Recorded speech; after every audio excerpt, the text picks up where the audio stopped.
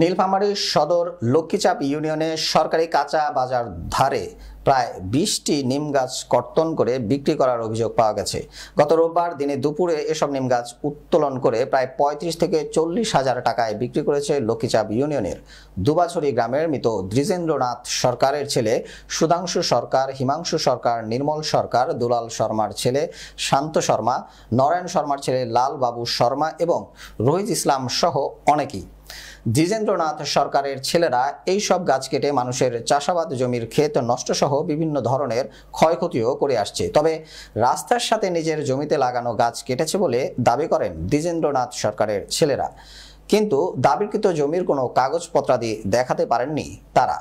Union ভূমি কর্মকর্তা নিতাই চন্দ্র, একাত্তর বাংলা টিভিকে একান্ত সাক্ষাৎকারে তিনি এই বিষয়ে কিছু কথা বলেছেন। ছিল না তহসিলদার আমাকে জানাই নাই তহসিলদার আছে তহসিলদার দেখি চলে গেছে আমাদের জমির মধ্যে পড়ে। গাছ পড়ে নাই এটা দুই- দুই ভান ধরে গেছে আর এক ভানে পরে পরে এটা দিয়ে দিছি তহসিলদারের ঘর। আমার নাম হিমাংশু সরকার। আমরা নয় নম্বর ওটাই বাস করি। আমাদের ওই জমিটায় আমরা গাছ লাগাচ্ছি আমরা বলছে গাছ বিক্রি করো। বিক্রি করছি আমরা বিক্রি কাটার আগেও আমি নাম্বারকে জানাছি গাছ কাটছি গাছ সব গাছ চলে গেছে কম বেশি এক ভ্যান ছিল।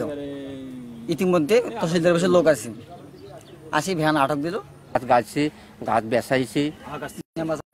মেম্বার চেয়ারম্যানক জানাইছি সব কিছু ইউনিয়ন ভূমি সরকারি কর্মকর্তা লক্ষ্মীচা ইউনিয়ন ভূমি অফিস ছাব্বিশ তারিখে অনেক মানিক নামে এক ছেলে ফোনে জানায় যে আকাশকুড়ি ওটা আকাশকুড়ি কি দুবাসরি মজার। রাস্তার পাশে নিমের গাছ নিমের গাছে কে কে বা কারা? কর্তন করি আছে তা আমি শোনার পরে আমার অনেক অফিস সাহেব রশিদুল নবিদুল্লুকে ফোনে জানাই এবং তাকে বলি যে যা গাছগুলি সঙ্গে তাৎক্ষণিকভাবে ইয়ে করে কারও হেফাজতে দেওয়ার জন্য বলি।